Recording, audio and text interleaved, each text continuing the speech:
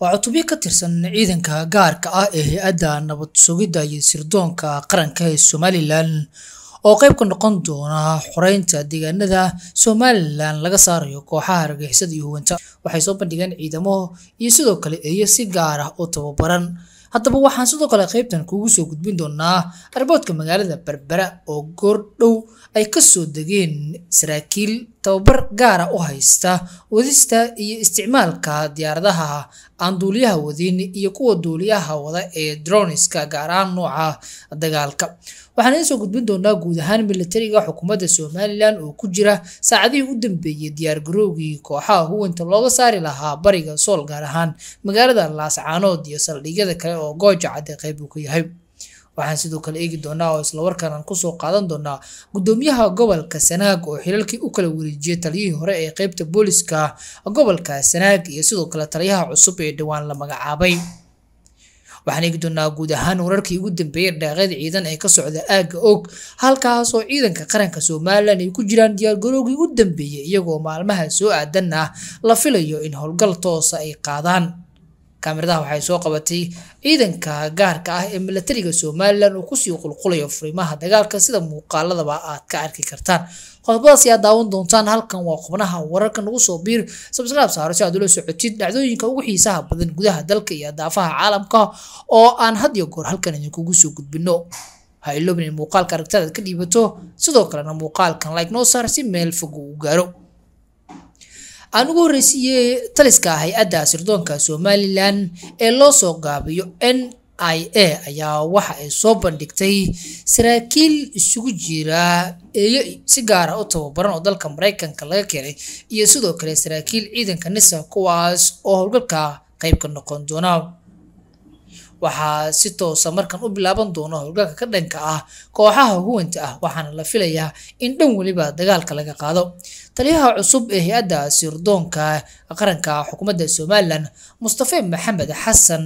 bacaluul oo isbeddel weyn ku sameeyey tan iyo markii loo dhiibay hogaanka hay'adda sirdoonka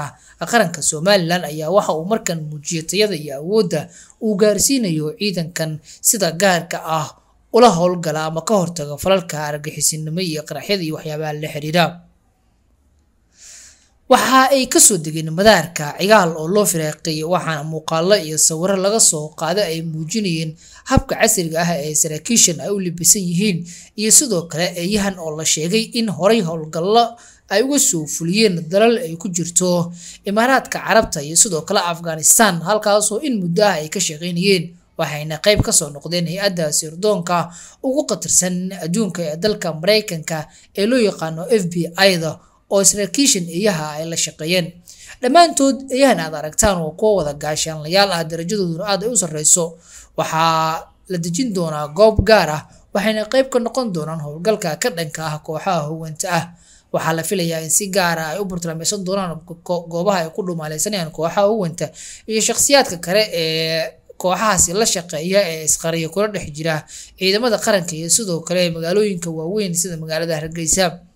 waxaa la filayaa in taliya mustaf maxamed xasan si toosa uu u howlgeliyo dhammaan ciidamada kala duwan ee hay'addan oo eeyahan dufcadda ah isticmaali doono. Waxaana sidoo kale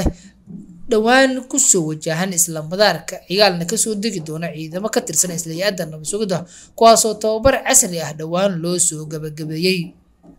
ciidanka qaranka somalilan ayaa dhan walba waxa uu ku jiraa diyaargaroogii u dambeeyay oo ka dhanka ah kooxaha huwanta waxaana la filayaa in gabi ahaanba toddobaadyada soo aadan haddiiba uusan noqon toddobaadkan gudihiisa in ciidanka qaranka si toosa uu u soo gaaro xuduudaha kala dhexeeya puntland. Waxaana la filayaa dagaalka oo ka bilowda in si toosa u gaari doono ilaa iyo furimaha ugu dambeeya ee ciidanka qaranka ay ku sugan yihiin.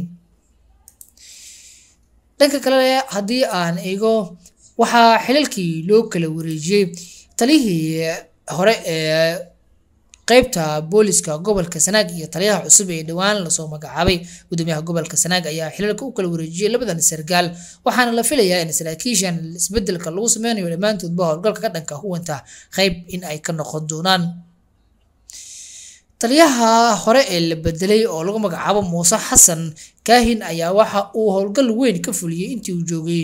gobolka sanaag waxaana iminka loo soo bedelay taliyo cusub oo la filayo inuu ka howlgalo halkaas. Waxaana lagu magacaabaa taliya axmed waxa uu ka mid yahay saraakiisha khibradda fog u leh dhanka dagaalka waxaana la filayaa in dhammaanba kooxaha uwanta ku dhumaalaysanaya gobolka sanaag inuu ka saari doono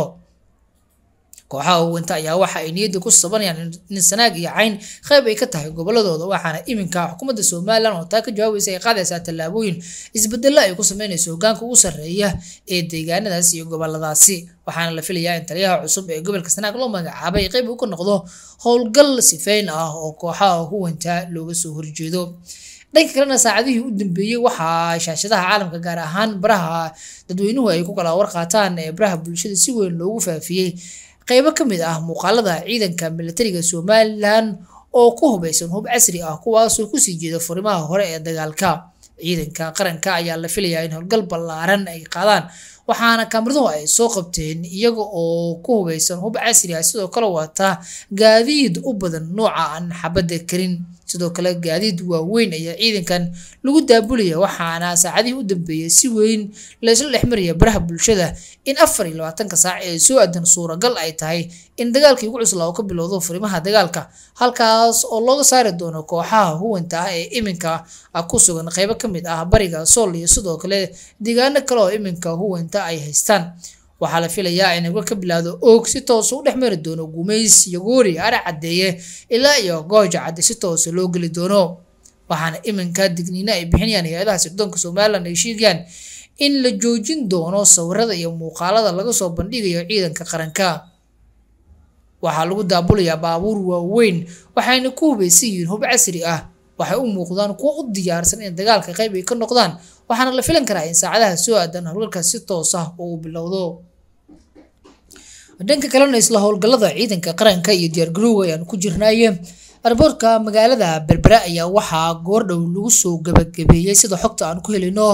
Tababar la siinayay saraakiil hogaamin doonta howlgalka dhanka cirka ah.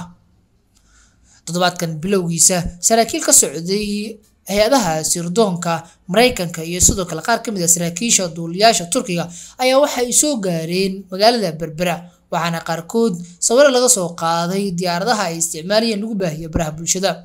tababar toddobaad soconaya ayay u soo gabagabeeyeen saraakiil tababar hore haystay kuwaas oo la fahamsiinaya qaabka ugu fudud ay u isticmaalayaan diyaaradaha waxgumaada ee hawada wax ka duqeeya gaar ahaan nooca loo yaqaan droniska diyaaradahan ayaa isugu jiri doona qaar aan duuliyo lahayn oo digital ah iyo sidoo kale kuwo duuliyo u baahan oo saraakiishan lagu tilmaamay ilaa iyo saddex iyo toban sargaal inay gaarayaan ay wadi doonaan. Waxaa la filayaa in howlgalkan dhowaan bilaaban doono qayb ay ka noqon doonaan diyaaradahan dhowaan ay heshay xukuumadda somalilan. Waxaana weli iska soo dabadhacaya taageerada ay ka helayso waddamada saaxiibada la ah xukuumadda somalilan sida taiwan jabuuti maraykanka iyo u k kuwaasoo dhammaantoodba taageero militari oo gacan libaax la siinaya ciidanka qaranka. Madaxweyne biixi ayaa dhankiisa la filayaa in si toosa maalinka howlgalka uu bilaabanayo ula hadli doono warbaahinta isagoo intaa kadibna saacad saacad iyo maalinba wixii soo kordha warbaahinta uga warbixin doona xaaladaha iyo militariga goobaha ay kala joogaan. Guud ahaan warkaad kala socoteen qubnaha wararka wandhaga intaa wixii ku soo kordha wararkeena iyo barnaamijyadeena xiga ayaan idinkugu soo gudbin doonaa inagoo sidoo kale isha ku hayn doona xogihii u dambeeyey ee khilaafka ka dhex qarxay kooxaha kuwenta oo la sheegay in afyeenkoodii faysal falaalug lagu weeraray gudaha magaalada laascaanood iyo militariga somalilan oo dhaqdhaqaaqa culus iminka bilaabay. Qodobadaas wararkeena xiga aad ku daawan doontaan subscribe noo saar oo nagu soo biir muuqaalkan like garaysi meel dheer u gaaro aad ku maasantahay la socodkii la jaaqaadka holkeen